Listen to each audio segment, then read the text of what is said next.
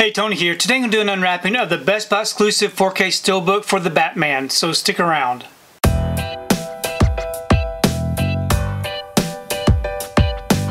So today I received my order for the Batman. This is a Best Buy exclusive 4K Steelbook with a Blu-ray and the digital.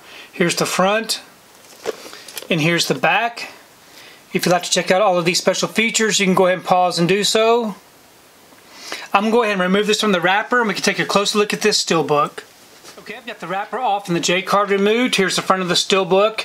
It is a matte finish, no embossing or debossing. And then here's the back. We open it up. We got our front and back together. We have our title going up and down the spine. And on the inside we do have our 3 disc and a digital code. We have our 4K disc here all in black and we have our special features disc on a Blu-ray in green. And we have our Blu-ray for the feature film in red. Then on the inside we do have some inside artwork. So overall I think this is a really nice looking steelbook so I'm really happy that we got a different variation of the Batman Steelbook. I do like that they kept with the red and the black.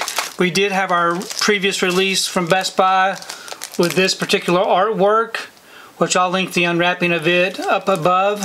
But very nice to have another steelbook. Please leave me a comment below. Let me know what you think about this particular steelbook release. And also let me know what you think about the film The Batman because I really do enjoy reading your comments. If you like what you saw here today, please give it a thumbs up and share the video. If you haven't subscribed to my channel, I really appreciate it if you would subscribe. If you do subscribe, please remember to hit that notification bell so that you can be notified every time I upload a new video. If you haven't found me on my social media accounts, I'm on Instagram, TikTok, and on Twitter. And if you'd like to find out what I've been watching, you can find me over on Letterboxd. I do have links below. But thanks again for watching, and we will see you next time.